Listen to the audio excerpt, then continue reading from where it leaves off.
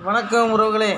நேற்றைய தினத்திலே கரூரில் பார்த்தீங்கன்னா ஒரு போக்குவரத்து காலத்தில் வேலை செஞ்ச ஒரு நபர் வந்து தீ குளிச்சிருக்கிறாரு. அது ஒரு காளியம்மன் கோயில் முன்னாடிச்சு அவர் பக்கத்தில் வந்து ஒரு லெட்ரு கிடந்திருக்குது. அது எப்படி லெட்ரு மட்டும் தீ பிடிக்காமல் இருந்ததுன்னு தெரியல. பக்கத்தில் லெட்ரு இருந்தது தான் அந்த லெட்டரில் வந்து அவருடைய வேண்டுதல் நிறைவேறிச்சு தான் அந்த வேண்டுதல் பார்த்திங்கன்னா மிகப்பெரிய வேண்டுதலாக இருந்திருக்குது. பாருங்கள் பெட்ரோல் ஊற்றி குளிச்சிருக்கிறாரு. ஆனால் லெட்டர் மட்டும் பக்கத்தில் எரியாமல் கிடந்ததுன்னா அது ஆச்சரியமாக தான் இருக்குது உறவுகளே. எவ்வளோ பெரிய ஆச்சரியமாக இருக்குது அதுதான் காளியாத்தோட சக்தியாக என்னென்னு தெரியல. அதில் என்ன எழுதியிருந்தான்னா அவருடைய வேண்டுதல் நிறைவேற்றான் வேண்டுதல் என்னன்னா செந்தில் பாலாஜி அவர் வந்து ஜெய் வெற்றி பெறணும்னு சொல்லி வேண்டியிருந்தாராம். திமுக ஆட்சிக்கு வரணும்னு வேண்டியிருந்தாராம். அது நிறைவேறிச்சான் அதனால் ஆத்தாளுக்கு வந்து அது அந்த வேண்டின அந்த நேர்த்திக்கடனை செஞ்சுட்டார போல தெரியுது. அதுக்கு பார்த்தீங்கன்னா கீழே வந்து சகோ நிறைய பேர் கமெண்ட் போட்டிருக்காங்க. புதிய தலைமுறையில் இந்த செய்தி வந்திருக்குது. என்ன போட்டிருக்காரு? ஒருத்தர் போட்டிருக்காரு. நான் கூட விஷயம் என்னவோ பெருசுன்னு நினச்சேன் ஒருத்தர். அவர் பேர் என்ன? தினேஷ் தினேஷ் என்னமோ போட்டிருக்கிற எனக்கு ஆங்கிலம் தெரிய தெரியாது. அது ஒரு பக்கம் தினேஷ் என்னமோ ராட்சின்னு போட்டிருக்கு. அடுத்தது இன்னொரு ஏஆர்னு ஒரு ஒருத்தர் வந்து கமாண்டு போட்டிருக்காரு. அதில் என்ன சொல்கிறாருன்னா இன்று தான் எலெக்ஷன் ரிசல்ட் என்ன அப்படின்னு தெரிந்ததா? இவ்வளவு நாள் கோமாவில் இருந்தாரா? குடும்பம் என்ன ஆகும் என்று நினைத்து பார்க்கவில்லை. அதனால் அவர் குடும்பத்தை நினச்சி இவர் இறக்கப்படுறாரு தலைவர். அடுத்த வந்து என்னமோ முருஸ் முருசாந்த லவ்லி என்னெல்லாமோ வச்சுருக்காங்க பேர். அவர் என்ன சொல்கிறாரு உன்னை பெற்றதுக்கு உங்கள் அப்பையும் பத்து நிமிஷம். சரி இது நான் படிக்க முடியாத ஒரு தகவல். அதுக்கு கீழே போட்டிருக்காரு. குடும்பத்தை பற்றி கவலை இல்லாத ஒரு ஜென்மன் போட்டிருக்காரு. அடுத்தால இன்னொருத்தர் போட்டிருக்காரு. எஸ் பாலா பாலா. அவர் போட்டிருக்காரு. எந்த காலத்திலும் தலைவர்கள் தீக்குளிப்பதில்லை தொண்டன் மட்டும்தான் இது இது மட்டும் மட்டும்தான் குளிக்கிறான். இதுதான் சாபக்கேடு. அதுக்கு ரீப்ளை ஒருத்தர் சொல்லியிருக்காரு. என்ன சொல்லியிருக்காரு? எதுக்கு குளிக்க குளிக்கணும்? அப்படின்னு கீழே. அடுத்தால் பாருங்கள்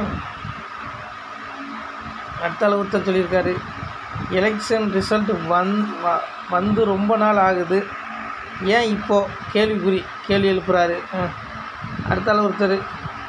ஜஸ்ட்டு மணி மெம்பர்ஸ் கம்பே அவர் ஆங்கிலத்தில் போய் என்னமோ எழுதியிருக்காரு நமக்கு தெரியாது. அஹ்.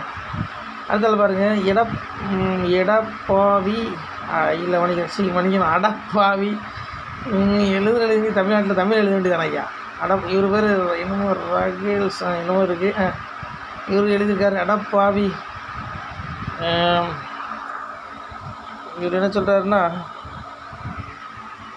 அடப்பாவி உன் உன்னை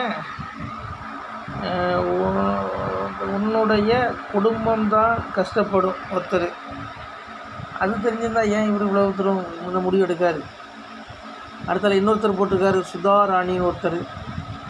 இதெல்லாம் ஒரு விதம் மனநோய் அப்படின்னு போட்டிருக்காரு. ஒருத்தர் சில பேர் எவ்வளோ அசிக்கப்பட்டாலும் சாக மாட்டாங்க அப்படின்னு ஒருத்தர் போட்டிருக்காரு கமாண்டு.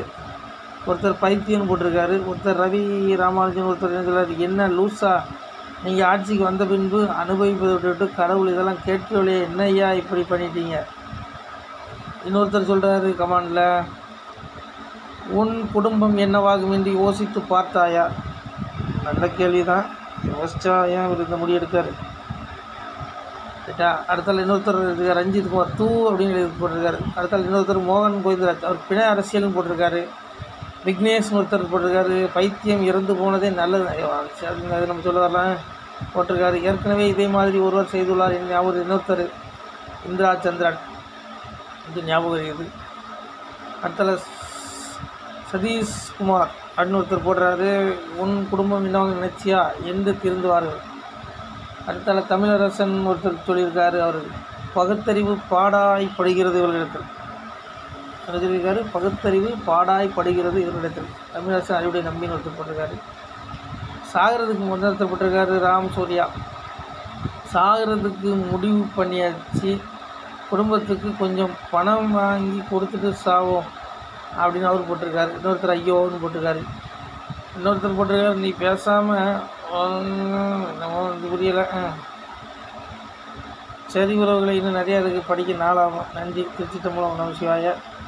தற்கொலைக்கெல்லாம் முடிவெடுக்கிறது மிகப்பெரிய தவறு. ஆத்மா என்ன ஆகும்? நாள் வரலன்னா எமதன்மை அழைக்க மாட்டார். முக்தியும் கிடைக்காது மோட்சமும் கிடைக்காது நீர்க்கடன் பிண்டம் எதுவுமே கிடைக்காதுன்னு தர்ம சாஸ்திரங்கள் சொல்லுது. அவங்களுக்கு தான் அது கிடையாது நன்றி உறவுகளை திருச்சி தமிழ் உணவு